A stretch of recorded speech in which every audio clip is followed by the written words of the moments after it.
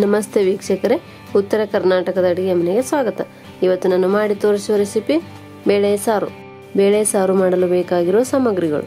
ಮೊದಲನೇದಾಗಿ ಒಂದು ಕಪ್ ತೊಗರಿಬೇಳೆ, ಒಂದು ಉದ್ದಗೆ ಕಟ್ ಮಾಡಿರುವ ಈರುಳ್ಳಿ, ಒಂದು ಸಣ್ಣ ಕತ್ತರಿಸಿದ ಟೊಮೆಟೊ, ಎಂಟರಿಂದ ಹತ್ತು ಸಿಪ್ಪೆ ಸುಲಿದ ಬೆಳ್ಳುಳ್ಳಿ ಎಸಳು ಸ್ವಲ್ಪ ಕೊತ್ತಂಬರಿ, ಸ್ವಲ್ಪ ಕರಿಬೇವು, ಒಂದು ಟೇಬಲ್ ಸ್ಪೂನ್ ಉಪ್ಪು, ಅರ್ಧ ಟೇಬಲ್ ಸ್ಪೂನ್ ಸಾಸಿವೆ, ಅರ್ಧ ಟೇಬಲ್ ಸ್ಪೂನ್ ಜೀರಿಗೆ, ಅರ್ಧ ಟೇಬಲ್ ಸ್ಪೂನ್ ಅರಿಶಿನ ಪುಡಿ ಸ್ವಲ್ಪ ಬೆಲ್ಲ, ಒಗ್ಗರಣೆಗೆ ಎಣ್ಣೆ, ಎರಡು ಟೇಬಲ್ ಸ್ಪೂನ್ ಅಚ್ಚ ಖಾರದ ಪುಡಿ, ಎರಡು table spoon garam masala powder. ಸ್ವಲ್ಪ ಹುಣಸೆ ಹಣ್ಣಿನ ರಸವನ್ನು ತೆಗೆದುಕೊಳ್ಳಿ. ಬೇಳೆ ಸಾರು ಮಾಡುವ ವಿಧಾನ. ಮೊದಲಿಗೆ ಒಂದು ಕುಕ್ಕರ್ನಲ್ಲಿ ತೊಗರಿ ಬೇಳೆಯನ್ನು ಚೆನ್ನಾಗಿ ತೊಳೆದು ನೀರು ಸಮೇತ ಕುಕ್ಕರ್ನಲ್ಲಿ ಹಾಕಿ. ನಂತರ ಉದ್ದಗೆ ಕತ್ತರಿಸಿದ ಈರುಳ್ಳಿಯನ್ನು ಹಾಕಿ, ಸಣ್ಣಗೆ ಕತ್ತರಿಸಿದ ಟೊಮೆಟೊವನ್ನು ಹಾಕಿ, ನಾಲ್ಕರಿಂದ ಐದು ಹೆಸರು ಬೆಳ್ಳುಳ್ಳಿಯನ್ನು ಹಾಕಿ, ಅರ್ಧ ಟೀ ಸ್ಪೂನ್ ಅರಿಶಿನ ಪುಡಿ ಹಾಕಿ ಎಲ್ಲವನ್ನು ಮಿಕ್ಸ್ ಮಾಡಿ ಕುಕ್ಕರನ್ನು ಮುಚ್ಚಿ ಎರಡರಿಂದ ಮೂರು ವಿಜಿಲ್ ಬರುವವರೆಗೆ ಕೂಗಿಸಿಕೊಳ್ಳಿ ಎರಡರಿಂದ ಮೂರು ವಿಜಿಲ್ ಕೂಗಿದ ನಂತರ ಹತ್ತರಿಂದ ಹದಿನೈದು ನಿಮಿಷ ತಣ್ಣಗಾಗಲು ಬಿಡಿ.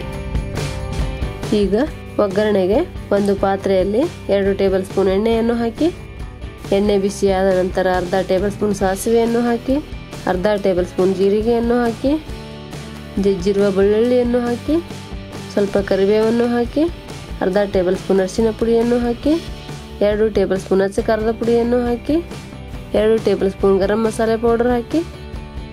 ಈಗ ಮುಂಚೆ ಕುಕ್ಕರ್ನಲ್ಲಿ ಬೇಯಿಸಿರುವ ಬೇಳೆಯನ್ನು ಈ ರೀತಿ ಕಲಿಸಿ ಒಗ್ಗರಣೆಗೆ ಹಾಕಿ ಸ್ವಲ್ಪ ಮಿಕ್ಸ್ ಮಾಡಿ.